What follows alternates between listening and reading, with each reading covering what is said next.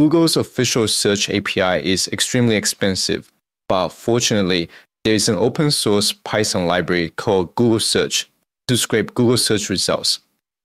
In this video, I will share how to create a Google search tool to give your Pydantic AI agent Google search capability using the Google Search Python library.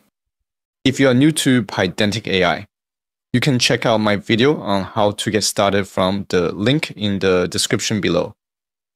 Launch your terminal and run the command to install the Google Search Python library. In your project directory, create a folder called Tools. We will use the Tools folder to store Pydantic AI toolsets. In the Tools folder, create two Python files, init.py and Google Search Tools.py. We will create the Google Search tool in the Google Search Tools module and the init module will simplify the module import by making the tools directory as a package. Now open the Google Search Tools Python file in your code editor. In the script, import the Python dependencies and set up the logger.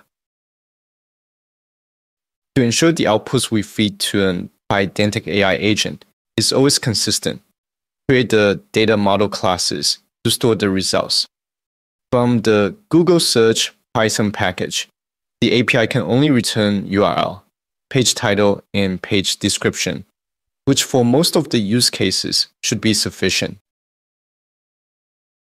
To create the Google Search tool, create a class called Google Search Tool and set the global parameter in the init method. The reason why I prefer to use a class instead of a function to create a tool is that with class, it is easier to manage if later you decided to add a few more Google search related functions. And if multiple functions share the same settings, you only need to change it once. Here I noticed I forgot to add the docstring for the sleep interval parameter. The sleep interval parameter basically set the delay between each request. Now create a class method called Google Search. And this will be the tool function we're going to assign to the Pydantic AI AI agent.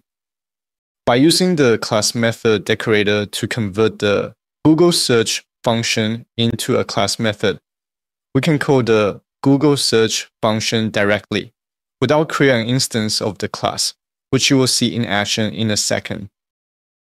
Inside the method, we are going to log the arguments received from the tool call. The time function is optional, but I'm adding it there to calculate the tool call time. Next, use the search function to make a Google search. When using the search function, if we set the advanced field to false, it will only return the URLs of the results. So when we compile the results, we need to iterate each item first and set the title and description fields to none if an advanced flag is set to true when creating a Google search result object. In the final step, create the Google search results object with total result count and search results list and return the object. Now let's test the Google search tool function to make sure it works first. In the main routine, define the search query and call the Google search function directly from the Google search tool class. If we create the Google search function as a regular method, we will need to create a Google search tool instance first. Save the file and run the script. Here from the output, we can see the web search results are generated. Now open the init Python file type the import statement shown here. Instead of from tools.google search tools, we can type tools instead to simplify the import statement. Save the file, and we are done creating the Google search tool.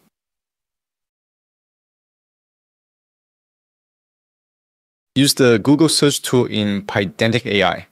When you set up an agent in the tools parameter, add the tool function like what I have here.